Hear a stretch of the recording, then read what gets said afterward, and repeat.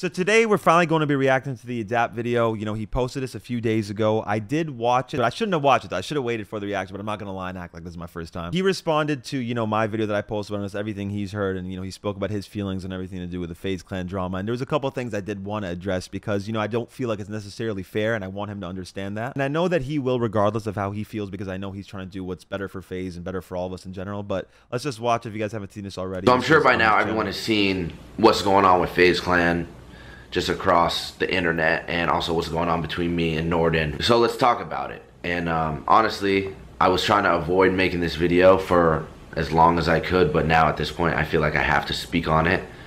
Um, and I also just have to stand up for myself. So for starters, obviously, there's a lot of problems with FaZe Clan. There's a lot of problems inside the company, outside the company. Things that if it were up to me, I would handle differently. But it's not up to me. It's never been up to me. There's conversations that happen, decisions that get made that I'm not in the room for, that I'm not a part of. Um, I'm not a founder, right? I've never been a founder. I'm not even able to something move. like that too. Like remember, even us, like I told you guys, that's why I made the point to say that I didn't even know about the Disney stuff. We don't even fully get to know things sometimes. The way that they try to like hide and keep information, whether it's for them just to feel like they have some sort of power trip and they get to know stuff and gatekeep certain stuff, or if it's about certain control so that we don't actually ask on certain details of the deal and how those work out. Whatever it may be, there's a ton of reasons to why they might happen. People have like such a misconception of how much we actually, as like the founders, like me, Tommy Banks, and Apex have on the company. They keep us out of stuff too, us, so we don't actually change anything about the play, which is super annoying. It's obvious to see why they've done what they've done. Lack of transparency, all that. You already know. I've been saying that the whole time. Like if I knew and I was aware of all this and it happened and I let it happen, then yeah, I guess I'm to be blamed for that. But a lot of the time we don't know anything. Most of the time we don't know anything. So it's like they keep us out of the loop on purpose, you know? The mountains that guys like Apex, Banks, Tommy, and Nordan can, and that's fine.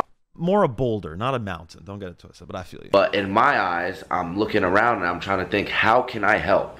How can I help out FaZe Clan, right? Because I love FaZe. I love this brand. I love what we've built over the years. It's such an important part of my life and has continuously been such an important part of my life for almost 10 years. I'm almost I've almost been in FaZe for a decade, which is nuts to even think about. So obviously I care, right? This is something that I'm very passionate about. And like I said, I'm not able to make a lot of these big decisions and shift things. Oh my like god! Speaking of, he said he said a decade in FaZe. You guys saw what I posted on my Instagram story yesterday. report that came out and said FaZe has received its deficiency warning and has until September 19th to get back in compliance with Nasdaq. Right, and the date that it had was September 19th, which is the date that you know I joined FaZe. So that's my anniversary for FaZe. So it honestly seems as if it's programmed in the stars. Things are going to work out for FaZe just based on that. The founders are just other people within the company. All right, there's issues. Where can I help? Like, what can I do?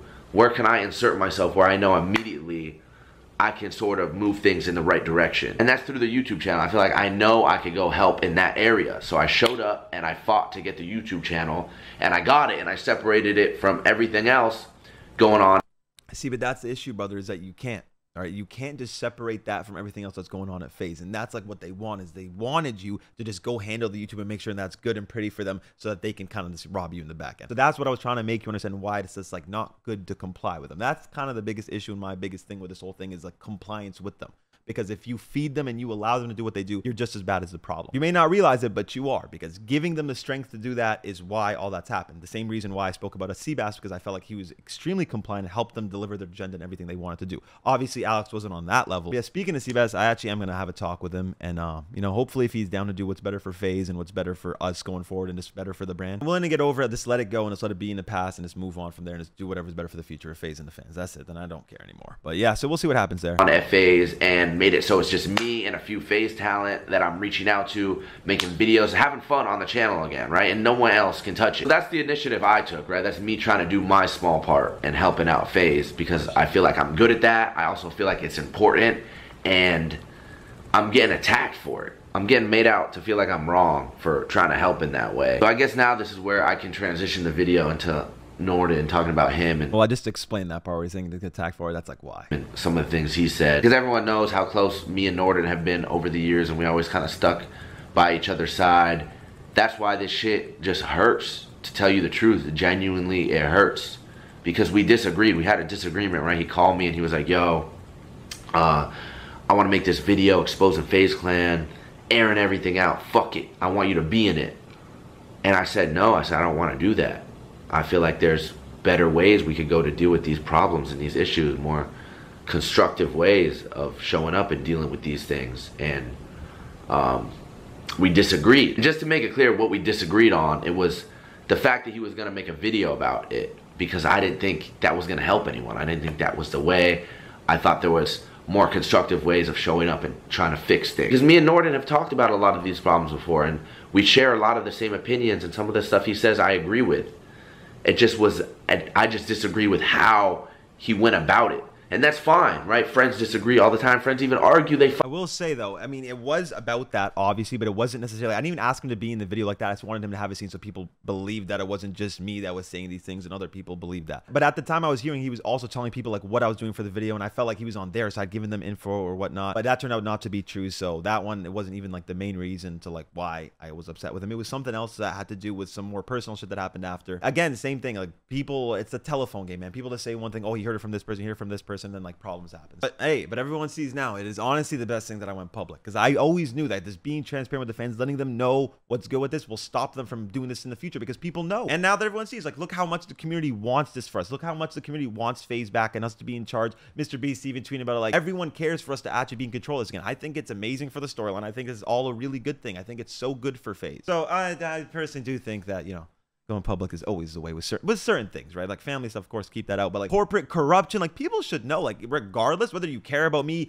if you hope I go broke for the rest of my life, hope I never get anything for the rest of my life, whatever, you can still agree that like you want to know how these things work. Just out of curiosity, just a general understanding of the world and what's around us and how everything really works. You got to remember what you see on media, all this shit's a lie, bro. Everything's a lie, and they lie to you guys. And they paint it a certain way, they make it seem a certain way, but it's not the truth. So I'm always here to break all that shit down. They don't kill me one day. I, I would have still supported him like I always have. Nothing would have changed. He took it to a really hateful place, coming at me saying like some very wild shit, you know, shit that he knows about me and I will give him that he he I don't think he talked shit to me at all. I was it was just me talking straight shit, bro. So I feel, but I was definitely like mad, hurt, emotional, and that's something I hope that he understands that I obviously I'm emotional about it too. I was upset about it too, but I never brought up how I felt like that. I just brought up what things were. I never actually brought up like my emotions towards it. But of course, I feel the same way, bro. Yeah. Been through and you know, sort of using it against me, and I'm not trying to get too into detail. I was like, oh, bet. Like we have a disagreement, we argue, and you want to take a here with me. After everything we've been through, this is the place you're gonna go. All right, bet. We're not talking no more. Nah, it's done. It's a dub. And um, it didn't, but it didn't stop there he kept attacking me and my character and what I stand for and who I am. And to tell you the truth, it just hurts. You know, it hurts because it came from one of my best friends, someone who I've been the closest with for the longest. And like I said, we stopped talking up until a few days ago. We actually had sat back on the phone and I heard him out and we chopped it up a little bit. Um, and I kind of am understanding where he comes from or, or was coming from but that doesn't make it just disappear. The shit he said really digs deep, and the way he went about it, um, deeper than he probably even realized. What's up with the camera shaking so much? I really think that when me and him get together, which I really think me and him will this weekend, and he'll probably make a video, and I want him to. Um, I just know, bro. When I see him in person, he's gonna get it. He's gonna get over it. Like I've known this dude for so fucking long, bro. So I know he's not gonna hold against him. He's just Oh, I see it, Alex. He's not actually that butthurt. He just wants to be butthurt, but he's it's hard not. for me to sit here and imagine a world where like no, I know he's hurt. We're both hurt, and I get it, but I just know that when he sees me, he sees this the way I like. I'm not. I was gonna say the way I look at him. I'm not trying to get all like that, but I'm just saying like you know in the way like our energy, the chemistry we've always had, like he's gonna get over it. I know it's like he's gonna understand it for what it is. As long as the, the people get that meet him will forever be brothers and we will always love each other. I think everything's gonna be all fine. Because I didn't never want to make this video to backtrack or go back or seem like, oh well, I don't I don't agree with the way he did this. It's not about that, right? I'm not backtracking. I just want everything to be okay and I want our relationship to be good. I want everything with FaZe to be good. That's all I care about. I know that's all he cares about. So I know everything's gonna be good. Good again. we just pick it back up where we left off. I mean, maybe there's there's a way we could sit down and chop this up the right way. Maybe there's a way. Shut up. We're but fucking I don't know. sitting it's down. hard for me to Shut even up. Maybe there's a see way. that right now because I don't really know how we move forward. Like I saw his video. We talked on the phone. I, I appreciate that he's apologetic and he's sorry, but it's still it, that shit. It's hard to just like pick things up, well, right? Pick it up, bitch. After Real shit. Knowing like how how that got dealt with. I don't know. We'll see. No, I'm not trying to. I'm not trying to be a dick. i but I just know him. You know, it's different. But some people might be like, "Wow, I'm hurt." Like, get offended for him as if you know, like our relationship or how he feels. I know, like I know what he's saying, whatever. But I'm telling you, you'll see, you'll see when there's a video. Things are gonna be great. I know there. I just know the connection me and him have with each other. And I know that he knows as long as that I fully understand what I did and the way I hurt him, and he fully understands the way that he hurt me and what he did, we're ready to move forward, to squash everything. We've dealt with stuff before. We've beefed over dumb shit before. It happens. Is this what brothers do, right? Where it goes from here, but right now it's just I, I, I can't really sit here and be like, all right, love. Just wanted to come on here and speak openly and freely about what how I feel about this Do whole that, situation King, and what's as going on should. from my perspective. So also I just want to say I love you guys. Uh, thank Aw, I you to the you ones too. who've been rocking with me and supporting me Hell yeah. over the years and constantly showing love. It means a lot more than you would ever know.